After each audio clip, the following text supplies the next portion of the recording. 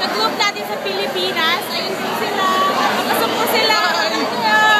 Ayan! Pauwi na po. Pauwi na po kami sa amin pala. Kaya, ayun, medyo punong-puno po ang train station.